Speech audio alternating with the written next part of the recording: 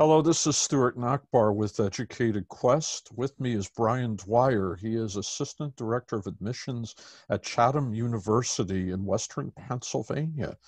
I asked Brian to join me today because Chatham really has an urban campus, but also a sustainable campus about a half hour from the great city of Pittsburgh, Pennsylvania. Um, I believe it is like the only sustainable college campus community in the country. And since people have always talked about green living, green energy, um, thinking living a sustainable lifestyle, I thought it would be useful for students and parents and counselors to know what that actually means for someone who is a high school senior or a college transfer student who thinks they may want to try the lifestyle in a hands on way. Brian, thank you for joining me today. Thank you so much, Stuart. I appreciate it. Looking forward to the conversation. Um, can you tell me um, what is the typical freshman who would live in Eaton Hall? Eden, yeah. I'm sorry, like uh, the Garden of Eden. um, and, and, for some of our students, it, it certainly is. But, you know, I, I don't think a, a typical student for the Eden Hall campus is really too much unlike the, the student population that we have here at Chatham University. Very engaged, very solution oriented. Um, you know, at the university in general, we have a mission and values towards um, sustainability, civic engagement, um, leadership. I think for the students that are, are seeking out our Eden Hall campus, particularly to live at and, and to study there, um, they, they have a lot of those qualities that a lot of the rest of the student population has. They just uh, tend to want to focus that a little bit more as to how our environment might be affecting our um, economics in, in our communities or how our communities are impacting the environment in business and, and so on and so forth, kind of through that triple bottom line um, closed system of what is sustainability in that campus. So um, you know that that typical student if anything they're, they're very engaged they're looking for um, a project research based learning curriculum. They really want to they re- want a tangible experience. They really want to kind of whether that's put their hands in the mud be working on the field um, talking with our faculty about uh, renewable energy solutions green jobs um, working with different companies and organizations on refining maybe how they're addressing sustainable human capital or um, how they are addressing corporate social responsibility. So the, the students that are looking at us, you know, they, they do their homework, they do research, but um, there's a lot of a streamlined transition, if you will, from their engagement at the high school level with whether that's, um, you know, a green club or an environment club, um, student council, student leadership, and when they're involved in high school, they're really looking at, at our university in general, but especially our Eden Hall campus as a way that they can just continue that in a very streamlined, in a very streamlined manner and make some very um, effective um, campus connections. The students who, who, who have come to visit Eden Hall um, to consider to consider the, the campus and consider the university, what other schools are they, they typically looking at? Yeah, that's a great question. I'll be honest, it, it's it's very much a mix. Um, you know, some of the ones that really come to mind in, in maybe the private liberal arts sector would be, um, you know, an Allegheny College or a Juniata College. Um, you know, those are those are pretty popular options. But you know, if you're talking a little bit more at a larger scale, you know, we cross a lot of applications with uh, the University of Pittsburgh and Penn State. Um, even most recently, um, looking at some of you know historical data, um, a Paul Smith's College, a, a, Unity College as an example, but Cornell University as well as the University of Pennsylvania are certainly within there uh, within that as well. And, and, again, I think it just goes back to the student application. I think it goes back to um, where those students are kind of seeing where they're really effective and they're really successful and, and they're looking at schools that are going to help give them a platform to do that. So um, you know, certainly when you're talking maybe about some of those eco league schools, even like a Dickinson as an example, or a Paul Smith's, you know, those are certainly um, similar schools where kind of their focus is very much um, similar to ours. Um, how many freshmen li- and then how many total undergrads live at Eden, Eden Hall? Yeah, that's a great question. So um, our our dormitory, what's known as Orchard Hall, which is um, built to LEED platinum standards on, on our campus. So uh, state of the art building and it's, and it's really unique in all the features that it has. Um, also our newest residence hall at, at Chatham University in terms of um, ground up construction. Um, there's a little over 60 beds on campus and uh, prior to the pandemic, we were at um, 45, there were 45 students or, or beds, if you will, um, filled on that campus was at, with actually an upward trajectory of, of, pretty much filling out the building. The pandemic unfortunately reversed that um, a little bit, but we were still able to keep about 50% of um, the students who were wanting to live on that campus still on there. There's some, um, just given the unique parameters of that campus, there are some things from a social and physical distancing perspective where it, the campus played out in an advantageous way for those students wanting to still live there. Um, but uh, I think, again, going back to the student that wants to be here and they want to live on that campus, it's a living learning environment. It's 388 acres of woodlands. So the students who are lo- looking to live up there, um, they're already kind of looking at different faculty connections that they're making, whether that's, you know, with Dr. Utz um, and doing different research assistantships um, and great opportunities that he has in our woodlands and as it relates to um, aquatic ecology or, or Dr. Weitzel um, in our aquaculture lab. Um, Dr. McCagnow has some really great stuff um, from a business perspective and how he's looking at green and social innovation relating to products, um, green products, so to speak. And then, um, you know, even like Dr. Johnson and her focus on botany. My, my point would be that the campus is such a living learning environment in the woodlands and our meadows and grasslands farm systems of the campus really play into the students' overall um, academic course load. And, and, so for the students who are living up there, it, it's really an attractive fit for them that they can be living in a place that essentially um, reinforces what their core values and beliefs are um, in terms of just a living community and a living environment.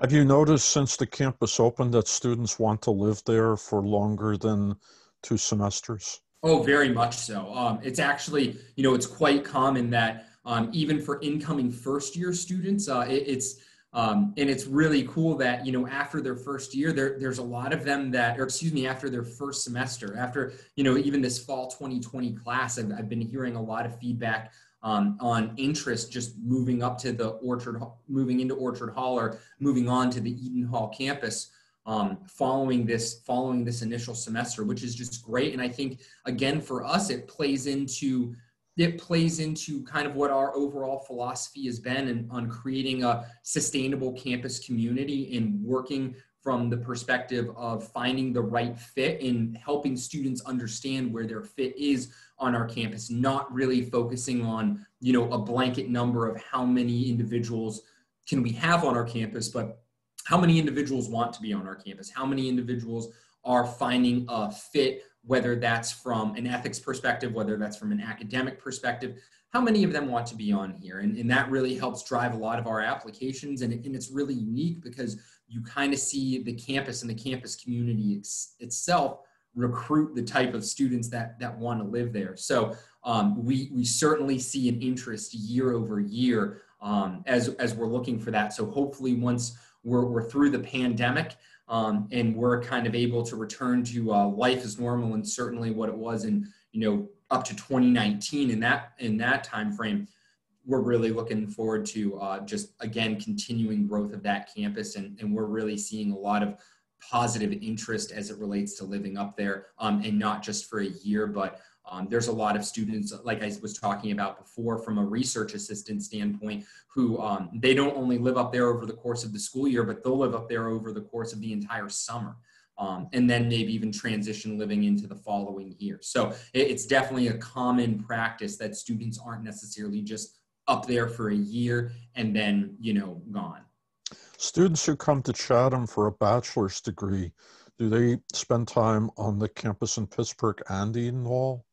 They do. They they they absolutely do. So um, a lot of our core structure, and and you know, I think um, as from an administration standpoint, from a leadership perspective, um, there's just a lot of cohesion and, and co- uh, cohesion around our campus as to how can we make an optimal student experience and, and how and what does that mean when you have a campus that has the physical distance that it has um, and really when you think about driving the the 16 16 miles north um, that's not really that far, but what makes it a little bit further would be uh, the stoplights in like everywhere in between, right?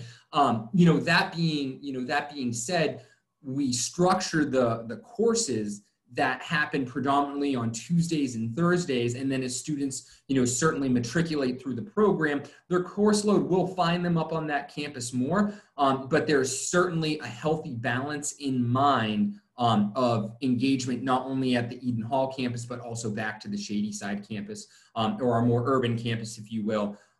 I think, again, it's just another unique feature that our institution has, but um, you know, Chatham University, we're located next to about a thousand square acres uh, of green space aside from being uh, an arboretum. So um, we have, you know, what's known as Frick Park and Schenley Park, you know, both within about a mile and a half of our campus. And I think Frick Park is home to the Nine Mile Run Watershed Association, which we have faculty um, and students who partner with monitoring that. And Frick Park in itself is about 642 square acres. And Schenley Park, again, um, a little bit more in our Squirrel Hill neighborhood, borders a little bit against the University of Pittsburgh and Carnegie Mellon. Um, they have Four Mile Run. They also have um, a pond there as well that's home to a lot of different aquatic life and animals in Four Mile Run. So um, there's a lot of opportunities when you're talking about studying sustainability, when you're talking about studying the environmental sciences and food studies that just don't necessarily relate all at the Eden Hall campus, even though that's where I would say a lot and a majority of that opportunity and engagement happens. There's certainly a big focus back on the overarching community here, whether that's our park system or the communities that surround us here in Shadyside. The Shadyside campus, I've that's the one I've visited. Yes. Um, that has an interesting look and an interesting history to it. Can you tell tell us, uh, for people who've never uh, are unfamiliar with Chatham, talk about that campus a little bit too? Yeah, our Shadyside campus. Um, you know, when when it started, we were um, it ha- is on the footprint of Andrew Mellon's summer home. Um, so we have some really unique buildings and residential spaces that that make up our campus um, you know where his where his uh, horse stables used to be is is now our student union and and just such a dynamic and cool building on on how that was been able um, to be salvaged and, and saved. Um, you know our art and design center used to be one of our um, used to be an, our old basketball court and, and sport facilities there. Um, so as our campus has kind of evolved and as our campus has grown we've also grown with the residential community that that surrounds us. And so you almost have this um, you almost have this really unique feel of that if you're standing in the middle of our campus you would have almost no idea that you were in the city of pittsburgh. It's a really um, unique feeling almost. And, and i'm reminded every day i have to make sure i take a walk around campus um, every day because it's a fortunate place to be and, and the community so engaged as well too but um, you know we're right down the street from a lot of prominent institutions from the city of Pittsburgh, um, but it gives you a really unique feel um, that you are on a very defined private liberal arts campus that, you know, quite frankly, used to be the summer home of one of the most wealthy industrialists in the United States. Um, do for undergrads, do most of them live on campus, whether it's at Shady Side or at Eden Hall?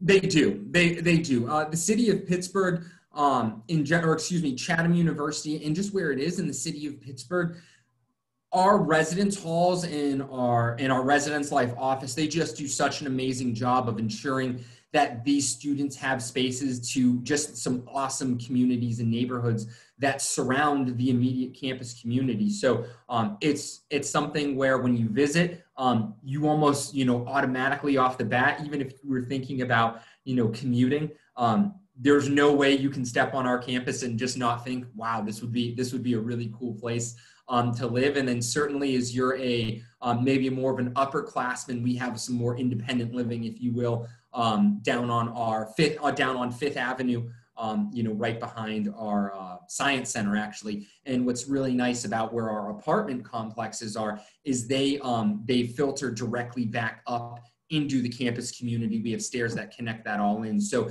it's not even separated necessarily from the rest of campus. So you will hear students refer to upper and lower campus, if, as you will, um, as it relates to uh, more residential living, but it's certainly a really popular option um, in general for students to live on campus, and certainly the majority of our of our students do.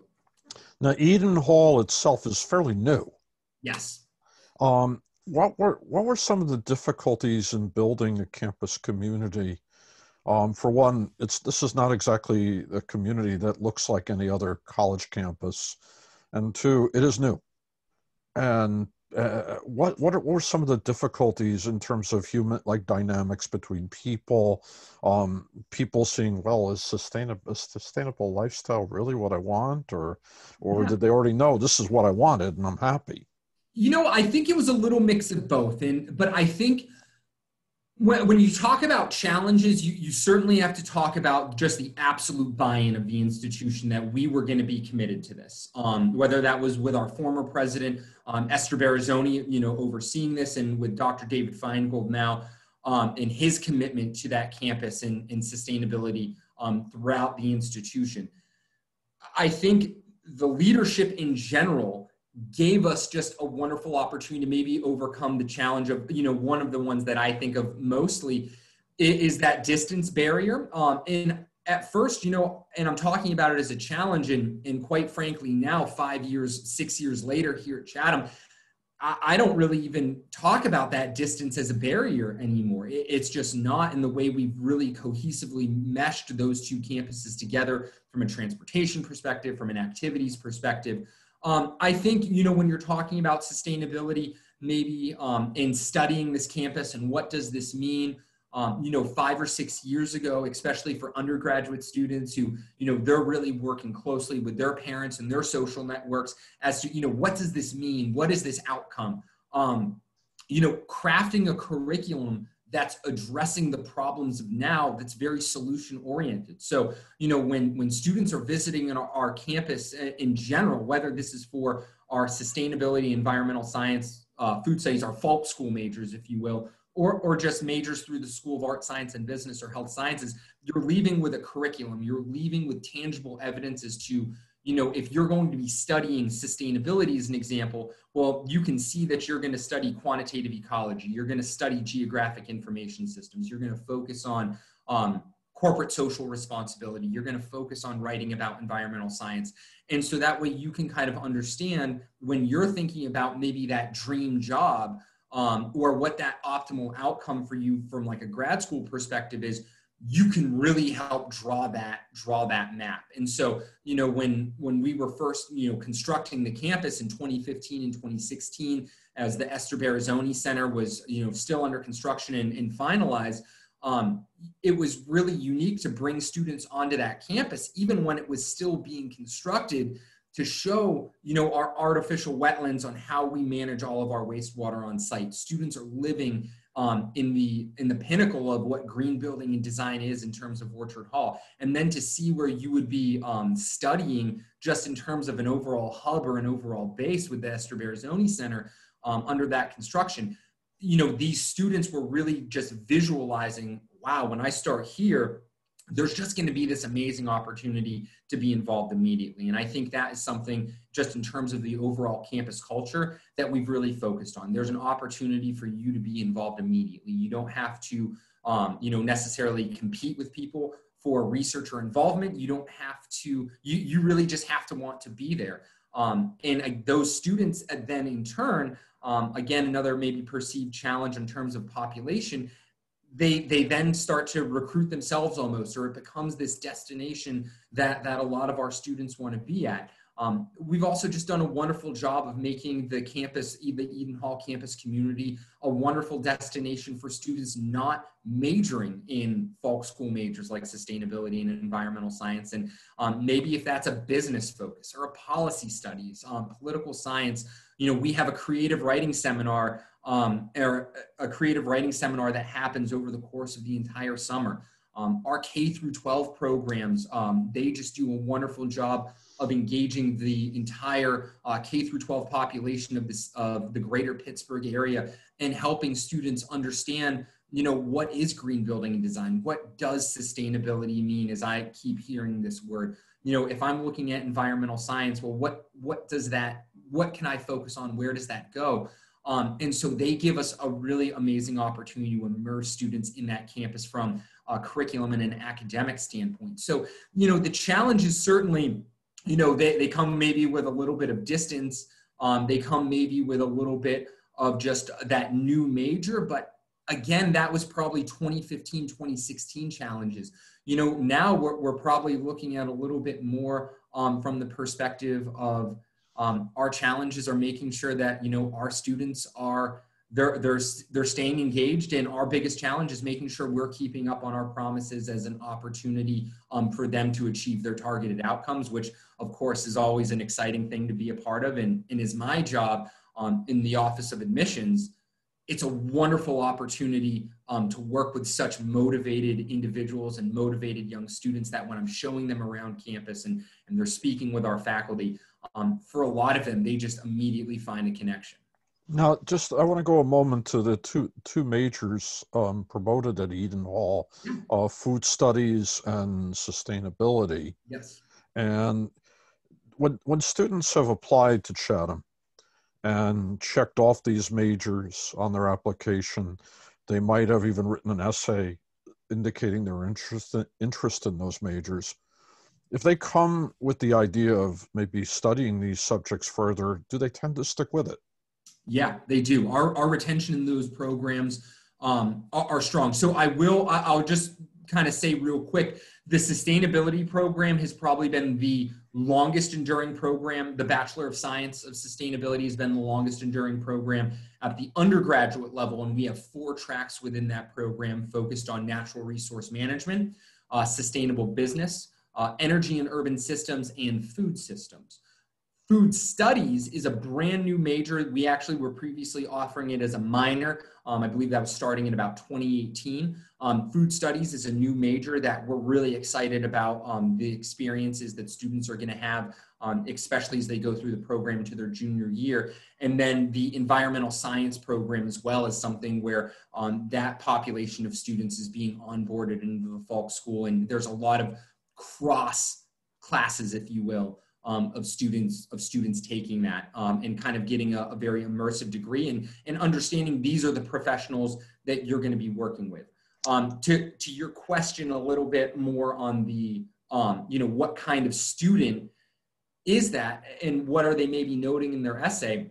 You know, I would say really popular uh, kind of maybe entry is AP Environmental Science. That's probably one of the most um, popular things I see students note on their application. Uh, following that would certainly be an involvement in some sort of uh, green team, some eco league, uh, environmental fund. Um, 4-H is another popular popular one, and Future Farmers of America. I think those are things that I see on applications that are uh, that I would say are probably the ones that introduce students to the topic and they kind of go they kind of go at their own pace from there in exploring that um, but even for students who didn't have anything that I just mentioned, or they're not in those clubs that I just mentioned. I, I think it's really something where, personally, and maybe from a philosophical perspective, you really just see the way the world is right now, and you think there's opportunities or solutions, you know, to solve some of the current problems that we have. And that's really, I think, the biggest theme um, of what those students are really focusing on, very solution oriented and, and problem solving all of these programs are are also science oriented. Um, for for someone to succeed in these programs, what should they be doing in high school in terms of the sciences? Yeah, that I mean that's a fantastic question. I, I think you know in terms of the the sciences and, and depending on you know some of the programs that you're going to look at, you know when I talk with our faculty and I hear, get feedback about research or, you know, from students, you know, they're doing something really cool as it relates to, you know, our streams or woodlands. I, you know, chemistry certainly is, is something where I'm seeing a lot of students focus a little bit on that, um, on chemistry. Biology, again, that's probably another really popular one. Um, but statistics, you know, statistics is typically the, the math that we require students to take as a part of that major. So whether that's an honor stats um, or an, an, AP statistics, college and high school, we're, very accepting with those types of credits. That's really where I'm telling students, you know, make sure you're taking the, you know, the required course load, the required math, the required science to graduate, of course. Um, but certainly, if you are starting to find yourself, you know, maybe you were interested in biology because you know research or the health sciences field was was interesting maybe when you were in ninth or 10th grade but now you have an opportunity to integrate geology into your degree or you know earth science or atmospheric science um, meteorology. If those if your school is offering those or ap environmental science kind of you know the more general one I would encourage a student to take that because it really just opens up a whole new dynamic of what the sciences are and really what the potential is there. Um, and again, that just relates back towards um, how we can solve, you know, some of our more community focused, our business focused, our environmental focused challenges and, and look at to those with solutions. But I think those, if students are taking the required course load in order to graduate, the opportunity to take elective courses throughout the sciences that are really interesting them, or um, you know, maybe a little bit more advanced math or physics. Uh, those are things that I think really help set students up positively um, not just for these majors in particular, they very much do, but I would also say, I would also put that caveat on if you are looking to pursue the sciences at the collegiate level in general. Have you seen more applicants? I mean, not you personally, but the university, seen more applicants or on the transcript you see advanced chemistry, advanced biology, or AP um, in either of those subjects? Very popular very popular option across across the institution. Um, it's really it's really encouraging to see the amount of um, advanced courses that are being offered to students at all you know whether you're talking about public schools private schools um, charter schools boarding schools independent schools. Um, it's really encouraging to see those opportunities. It's even more encouraging you know to see that so many of our applicants are taking on that challenge and again that gives us some great conversational pieces to have with them um, and just academically prepare them for um, you know what's going to happen next. Chatham is test optional? Chatham university is test optional. We have always been test optional as a school. Um, it's a really wonderful process just to holistically learn about a student and i think gives students also a little bit more stake to their stake to their application. Um, we give of course, you know, previously, um, prior to the pandemic, um, we were taking test scores as well as GPA. Um, for this 2021, uh, the upcoming fall 2021 application cycle, we are not requiring test scores to be a part of a student's application.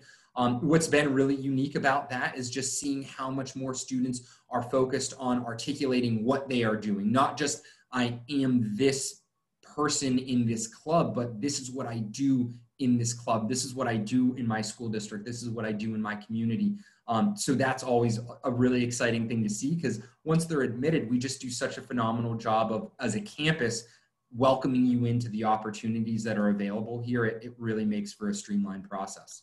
Do you ask these students to write more than just a Common App essay?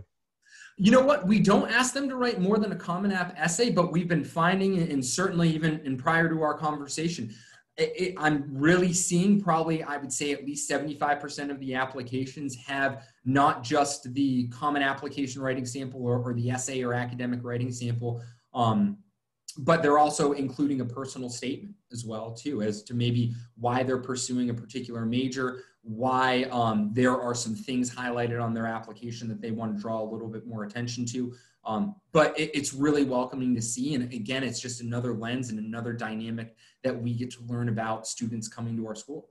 Are students on campus now or are they virtual?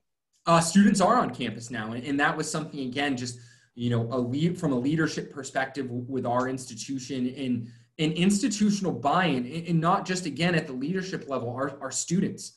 Um, you know, none of this happens being in camp, being in the classroom, um, having a campus community without our students buying into that. So it, it's really welcoming and it's really encouraging that we've been able to see that. But um, no, we, we, have hybrid courses. Uh, students, of course, if they wanted to learn um, in an online virtual format, uh, we did a wonderful job of making that opportunity available. Um, I see, you know, hybrid courses, of course.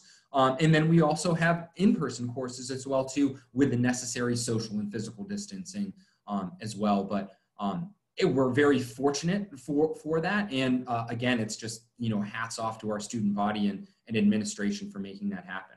Have doubles become singles or anything? Yeah, there was some de so there was some de-densification. I don't have all the I don't know all the particulars off the top of my head. Um, probably why I don't know all the particulars off the top of my head is I know that that was a, a that was a that was an effort um, that our residence life staff worked so hard um, to make sure that that physical distancing and that social distancing capacity was going to be something where students didn't have to stress over that. Um, and they and they really had a re- wonderful system and and we got a lot of again positive feedback in that onboarding process too.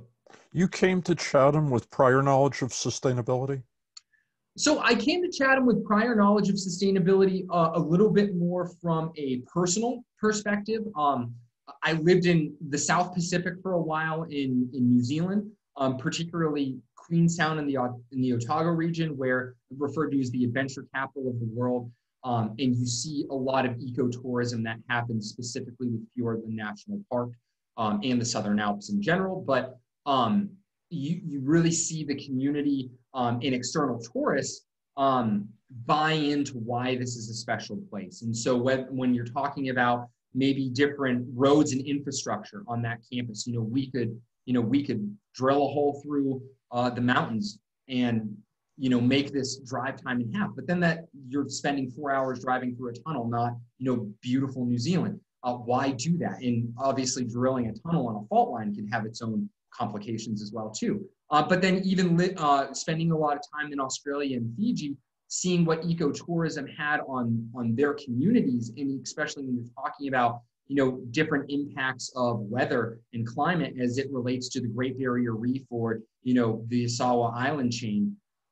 These communities very much rely heavily on their ability to provide an experience for people like myself who were fortunate enough to be there um, and it doesn't happen without first and foremost understanding that they need to have a sustainable business practice.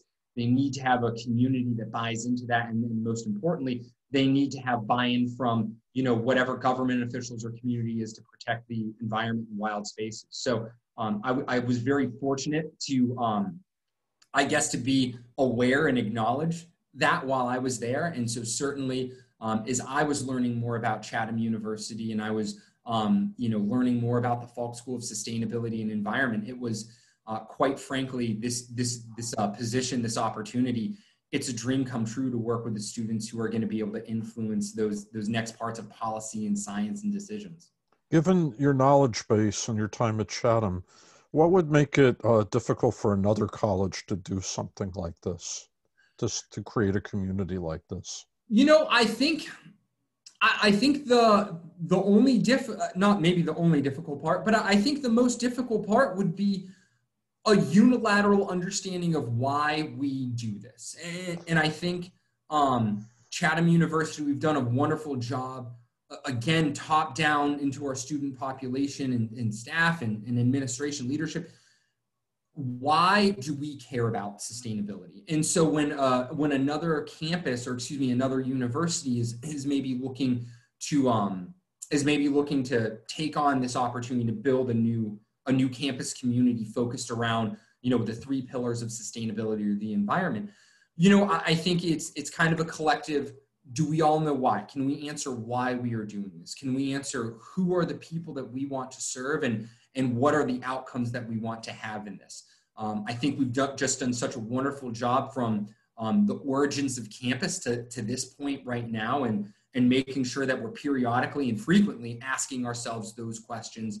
Um, and it gives us, you know, a streamlined process. Not that, you know, there's not, it's little ups and downs, um, but all the same, I would say if you were just going, if you were an institution very much, hey, we want, we want to mimic what Chatham is doing here, you know, I, I think first and foremost, it would be establishing where are our strengths, why do we want to do this, and um, you know, who are the, who is the end goal, what is the benefit of us establishing this? And I think um, as you can answer those questions from a positive manner, as well as you know, address those challenges, I think it can be a very um, intuitive and, and maybe I don't want to say easy. There's nothing about um, building a new campus that's that's easy. Um, but you know, all the same, I think when you have a community, a collective community buy-in, and you can answer those questions, that will really help you overcome what those challenges are.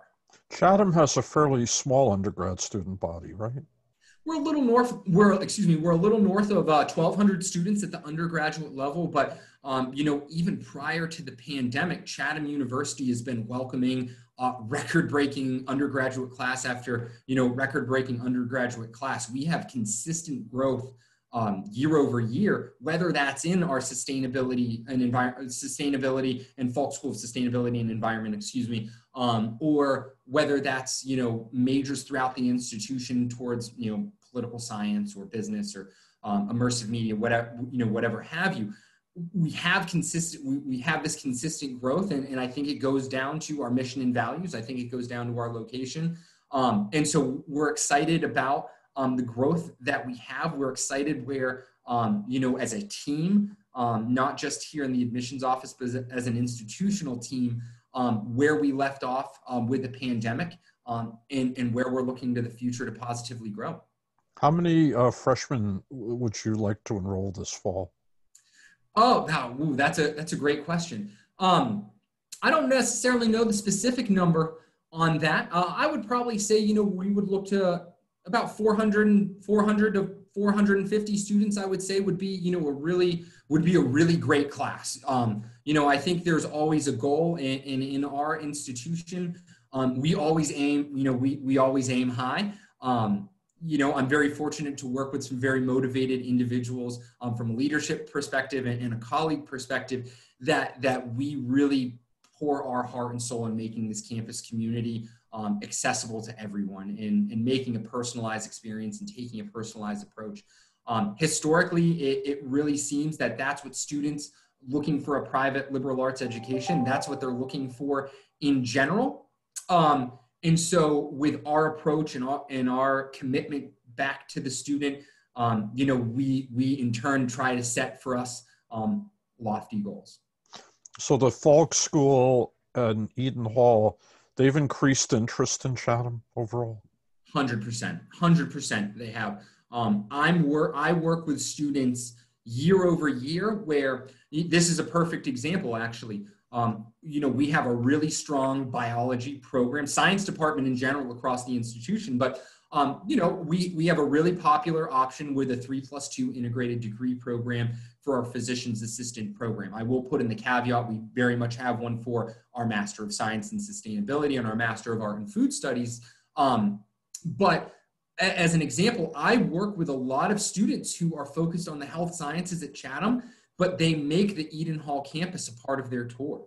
Um, they specifically look to make that a part of their tour following their time on campus. So whether that's, you know, um, a tour, a meeting with myself, meeting with students within their major, and then, you know, we want to see what this campus is about because maybe um, they come from a little bit more of an outdoors focused background. And, and yeah, the health sciences um, at that point in their life is probably, you know, a little bit more towards their passion and career goals, which is fine. Um, but they also really want to make a sustainable community, a sustainable lifestyle, a part of what their student experience as well too. So, um, you know, we we host students um, not just from Pennsylvania, but Washington State, Oregon, California, Colorado, um, just to kind of name just to name a few. Um, even actually Alaska, um, that they will come to Chatham. Maybe not be focused on a major towards the environmental uh, environmental sciences, sustainability, or food studies, um, but they want to see that campus because they want to integrate that as a part of their lifestyle and a part of their curriculum. Brian, thank you for spending time with me today. Thank you. Thank you so much, Stuart. I appreciate it. It's been it's been wonderful speaking with you. Have a good day.